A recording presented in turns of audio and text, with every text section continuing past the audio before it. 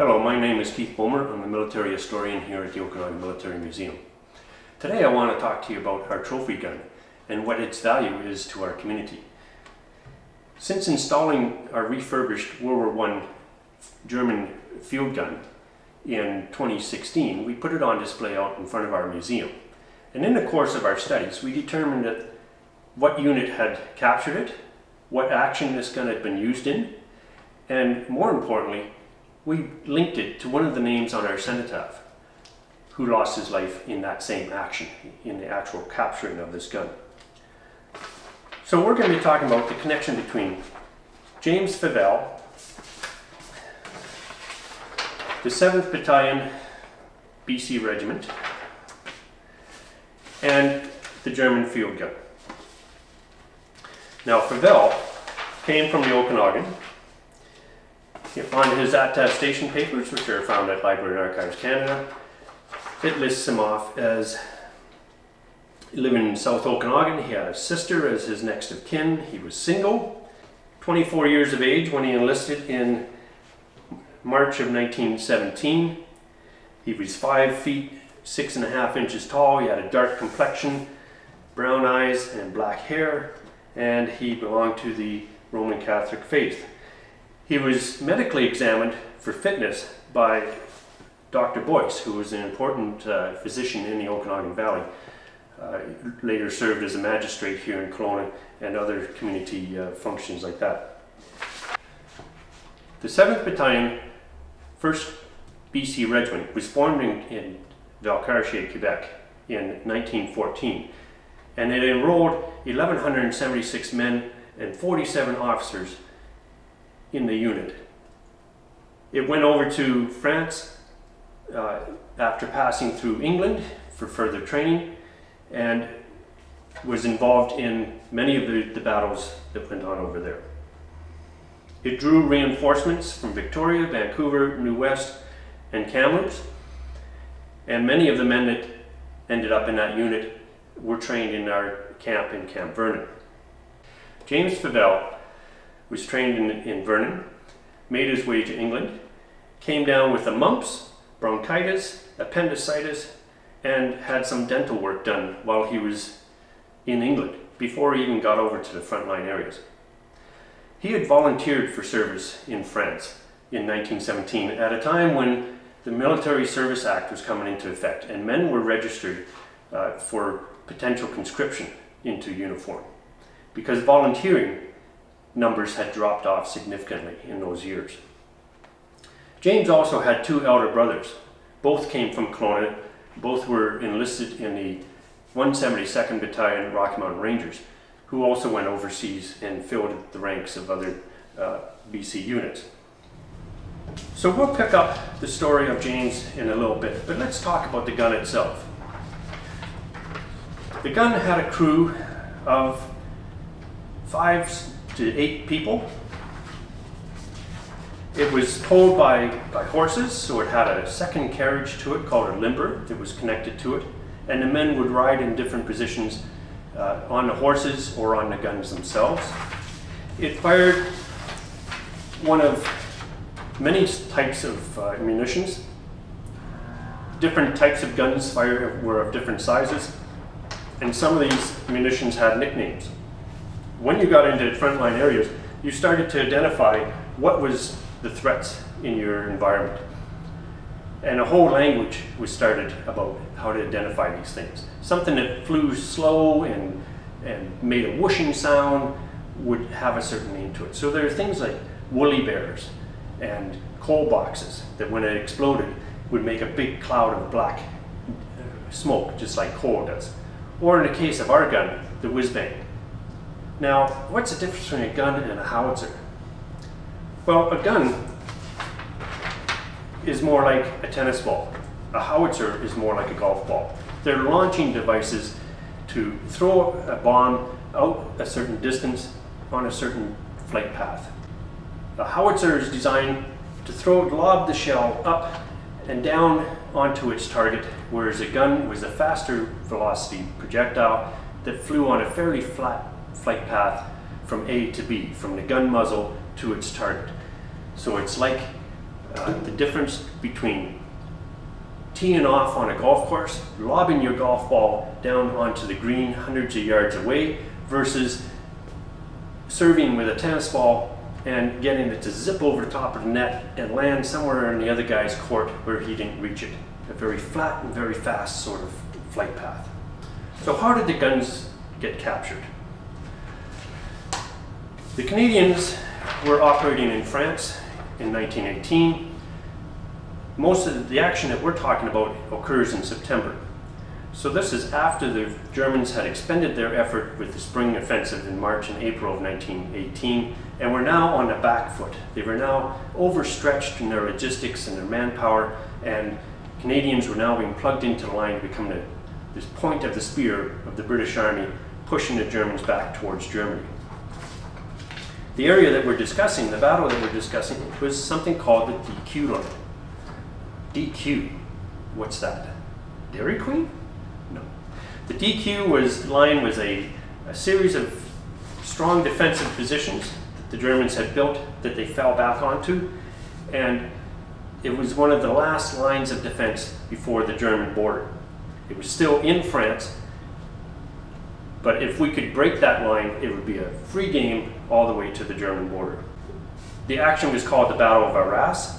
It involved all four Canadian divisions, and we were advancing down the road uh, between Arras and Cambrai, leading up to a series of other actions like the Canal du Nord and the Battle of Valenciennes. We have an example of the battlefield map of the day, the red being the trench lines and railway lines and so on, and gives you a little bit of an idea of what the topography and the challenges were. A year and a half after enlisting, James Favell was found in the 1st Company of the 7th Battalion in France, in front of the DQ line. Lieutenant A.B. Morco was the commanding officer of that company, and he writes in the after-action report in the unit's war diary for the month of uh, September. At 5 a.m., under the cover of a barrage, we advanced on enemy positions. We were greeted by machine gun fire, which lasted until entering the front line of the DQ line. Just before entering the line, we were joined by the tanks, and from that time on, they were largely instrumental in clearing of isolated MG positions. Prisoners were taken, and under cover of the barrage, the company was reorganized. We then advanced on the support line, inflicting many casualties on the retreating enemy. Heavy machine gun fire was opened from the support line, but this was silenced by our Lewis guns and concentrated rifle fire, and the advance continued. Large numbers of the enemy giving themselves up along the way. From here to the objective, enemy machine gun posts were strung along the slight rise of ground, and many posts were captured around the Boise switch area. McCorgo goes on, on reaching our objective, the enemy opened on us with field guns at point blank range from just in front of the wood at grid Victor 3 Bravo, map reference for the Villiers Le Cagnicourt in France. The concentrated fire was opened and the guns silenced and 40 of the enemy surrendered. Our trophy gun was one of two guns captured by the 7th Battalion that day in this action. However, James Favell was killed that day. His circumstances of death notes killed in action while advancing with his company in an attack on the Drocourt-Guillemont line south of the Arras and Cambrai road towards Villiers-le-Cagnicourt he was instantly killed by the explosion of an enemy shell. Others that were killed that day from the Okanagan included Private C.O. Needham of, of Peachland, Lieutenant T.R. Broad of Summerland, Corporal H. England of Penticton, Private H.E. Cooper of Penticton. Dying of wounds later on was Private J. Kincaid of Kelowna. Now these fellows were not necessarily in the 7th Battalion, but they were in that part of the front line doing their part that also suffered in that action. The newspaper clipping that came out announcing his passing was headlined, Killed in Action on the 2nd of September, Private James Favell, a native son of Kelowna, gives his life. Favell, who is well known both here in Okanagan Mission, was born at Kelowna. He was brother to Mrs. Fred Small of Kelowna Mission and was 25 years of age as of the 22nd February last.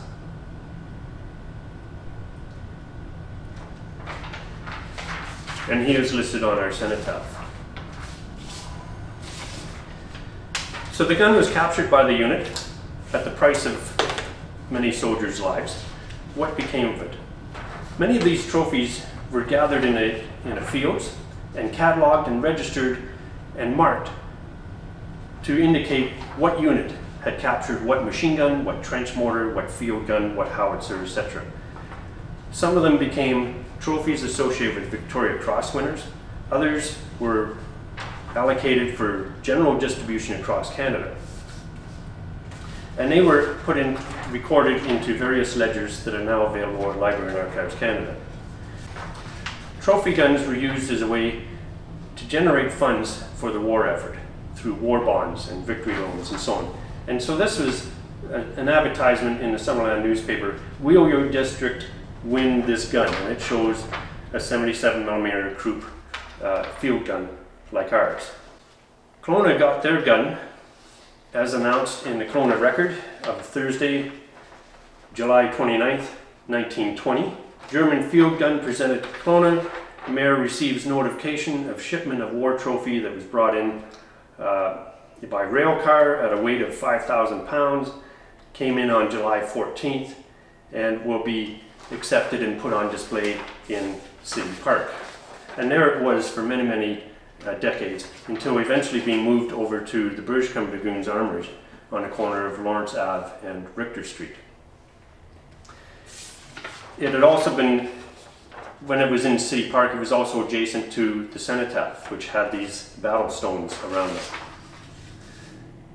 So leading up to uh, the anniversaries of uh, the First World War, the centennial of the First World War, the Okanagan Military Museum Society, the Kelowna Museums, and other partners like the City of Kelowna uh, removed the gun from the lawn of the armories and restored it in a shop, repainting it, redoing some of the woodwork on the seats and the spokes, and putting it out on display with the battle honor stones uh, surrounding it to make a fitting tribute in front of the Okanagan Military Museum.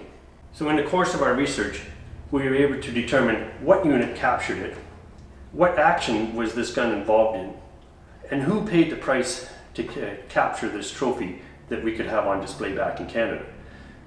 Trophies were another way of disarming the German army in the 1920s as well. So to wrap things up,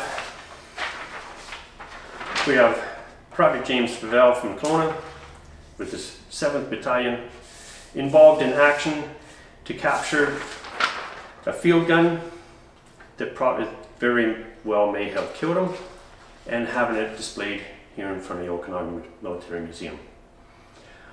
I hope you've enjoyed this and I thank you for your interest and we'll see you next time.